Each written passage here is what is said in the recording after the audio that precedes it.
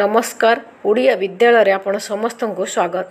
ଏକ ଛତ୍ରପତି ଶାସକଙ୍କ ଷଡ଼ଯନ୍ତ୍ର ଜୀବନ ଭୟରେ ଚାଇନା ପଳାଇଯାଇଥିବା ଲୋକଙ୍କୁ କରାଯିବ ହତ୍ୟା।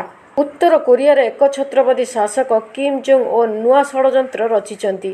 ଜୀବନ ଭୟରେ ଦେଶ ଛାଡ଼ି ଚାଇନା ପଳାଇଯାଇଥିବା ଲୋକଙ୍କୁ ହତ୍ୟା କରିବା ଲାଗି କିମ୍ଙ୍କୁ ଟିମ୍ଙ୍କ ପକ୍ଷରୁ ପ୍ରସ୍ତୁତି ଆରମ୍ଭ ହୋଇଥିବା ନେଇ ଆନ୍ତର୍ଜାତୀୟ ସ୍ତରରେ ଚର୍ଚ୍ଚା ହେଉଛି।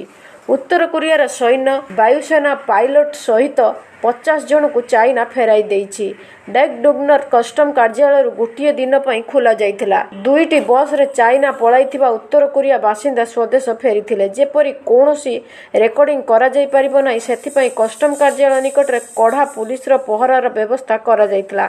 ଉତ୍ତର କୋରିଆରୁ ପଳାଇ ଆସିଥିବା ବାସିନ୍ଦାଙ୍କୁ ଫେରାଇବା ଲାଗି ପୂର୍ବରୁ ଚାଇନା କହିଥିଲା। ତେବେ କରୋନା ମହାମାରୀ ସଂକ୍ରମଣକୁ ଦୃଷ୍ଟିରେ ରଖି ଉତ୍ତର କୋରିଆ ମନା କରିଥିଲା। ଏବେ ପରିସ୍ଥିତିରେ ସୁଧାର ଆସିବାରୁ ଚାଇନା ଧରାପଡ଼ିଥିବା ଲୋକଙ୍କୁ ଉତ୍ତର କୋରିଆକୁ ଫେରାଇ ଦେଇଛି। ସେମାନଙ୍କୁ ଗୁଳି କରି ହତ୍ୟା କରାଯିବାର ଷଡ଼ଯନ୍ତ୍ର ରଚାଯାଇଛି ଯେତେବେଳେ ଚାଇନାରୁ ପଳାଇ ଆସିଛନ୍ତି ବର୍ତ୍ତମାନ ଉତ୍ତର କୋରିଆର ଲୋକ ତ ବର୍ତ୍ତମାନ ପ୍ଲାନ୍ କରାଯାଉଛି କିମ୍ ଜଙ୍ଗ ଓନ୍ ପ୍ଲାନ୍ କରୁଛନ୍ତି ବା ଷଡ଼ଯନ୍ତ୍ର କରୁଛନ୍ତି ସେମାନଙ୍କୁ ହତ୍ୟା କରିବା ପାଇଁ ଯେଉଁଟା ବର୍ତ୍ତମାନ ଆନ୍ତର୍ଜାତିକ ସ୍ତରରେ ଚର୍ଚ୍ଚା ହେଉଛି। କାରଣ ସବୁବେଳେ ଏକଛତ୍ରପତି ଶାସନ ଶାସକ କରି ସବୁବେଳେ ଚର୍ଚ୍ଚାରେ ଥାଆନ୍ତି କିମ୍ ଜଙ୍ଗ ଓନ୍ ତ ଏଇ ନୂଆ ଷଡ଼ଯନ୍ତ୍ରରେ ତାଙ୍କ କ'ଣ ଫସିବେ ନିଜ ଦେଶର ଲୋକ? ଆପଣମାନଙ୍କୁ କ'ଣ ଲାଗୁଛି ନିଶ୍ଚିତ ଭାବରେ ଆପଣମାନେ କମେଣ୍ଟ କରନ୍ତୁ। ତା ସହିତ ଓଡ଼ିଆ ବିଦ୍ୟାଳୟ ଚ୍ୟାନେଲକୁ ସବସ୍କ୍ରାଇବ୍ କରିବାକୁ ଜମା ବି ଭୁଲନ୍ତୁ ନାହିଁ। ରହୁଛି ନମସ୍କାର